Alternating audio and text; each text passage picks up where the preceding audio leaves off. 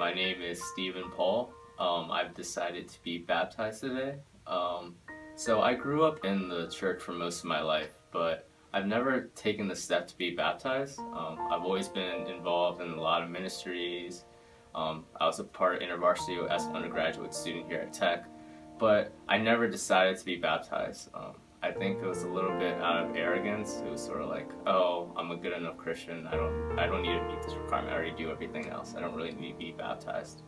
Um, but a couple weeks ago, I was reading about when Jesus was baptized, and it struck me as Jesus took the time out to make sure that he did this, so it had significance. Um, and to be a little bit arrogant and say that I didn't need to do it was felt was I was convicted of it. So I decided it was about time for me to make this proclamation of my faith in front of the church body. Growing up, I wasn't a regular church goer, but I grew up in a family that always encouraged to talk about Jesus and wanted us to know God. When I was about eight or nine years old, I was put into an unfortunate situation that kind of led me to turn to Jesus because I felt like I had nobody else and he got me through some really rough times in my life. As life got better and I just became neutral, um, I kind of turned my back on Jesus and lost sight of what was important. And at the beginning of this year, I realized that even though I was surrounded by all my friends and all my family, I had never felt more alone. And I knew it was because I had turned my back on God. One of my best friends had invited me to Northstar and I was completely against it because I was so nervous. I had never gone to church other than a Catholic church, which I found really intimidating. And so I was convinced to myself I couldn't go because it would just be way too much.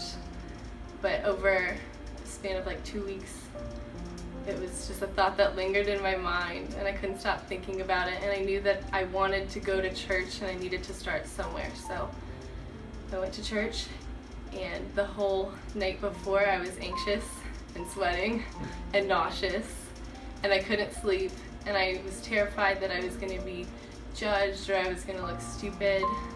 And then after my first service I realized that those crazy thoughts and that I had just met a lot of like the friendliest most supportive and understanding people and I loved it and I just kept going back. And each time I went back I was so encouraged and I knew that I just wanted to live a life with Jesus and that life wasn't worth living if I wasn't living for him.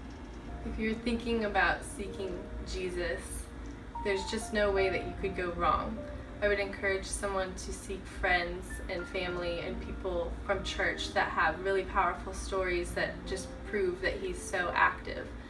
It's amazing because when you seek Jesus, you have always someone to thank for the good times and then someone to lean on when you're in times of conflict and discouragement. So you just can't ever go wrong with seeking Jesus. All right, so Steven, it really is my joy to baptize you as my brother in Christ. And today I baptize you in the name of the Father, the Son, and the Holy Spirit, buried with him in death, raised to walk in unity.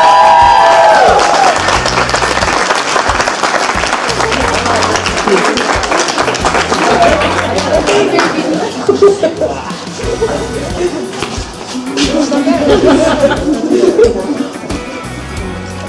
up. So Erika, it is so exciting to get to baptize you today as my sister in Christ, and I baptize you in the name of the Father, the Son, and the Holy Spirit. Buried with him in death, raised to walk